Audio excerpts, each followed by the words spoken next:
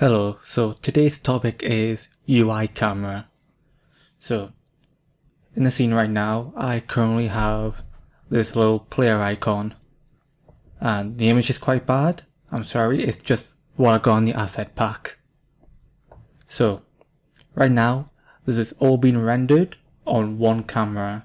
If I click on the canvas, you can see I'm rendering in the camera render mode.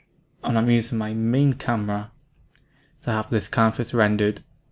Now, this is totally fine, it works. However, really you want to be separating everything. So, I'm going to show you today how to make a camera just for solely rendering the UI on your game. And it's really easy to do. So the first thing you want to do is have your UI set up. Once your UI is set up, what you're going to do is you're going to create a new camera. So there we go. And I'm going to call this UI camera.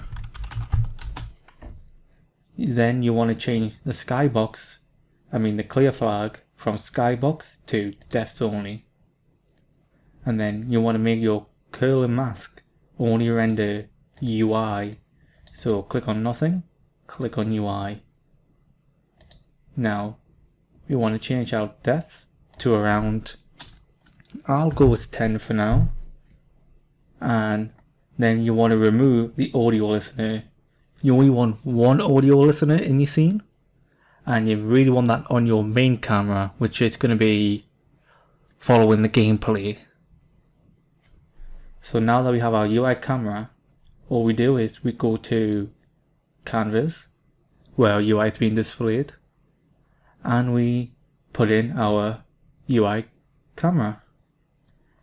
Make sure your camera scale is set up and that's it. You now have a camera that is solely active for only displaying the UI in your game and you've now separated the concerns. So that's it and if you're having problems make sure your UI itself is on the UI layer if it's not working, that is probably why. It's probably because your UI is on maybe default or something. Make sure it's on the UI layer. And with that done, that's this tutorial completed. You now have a basic camera for your UI. If you have any questions, leave a comment or ask away my Discord server and I'll get back in touch as soon as possible.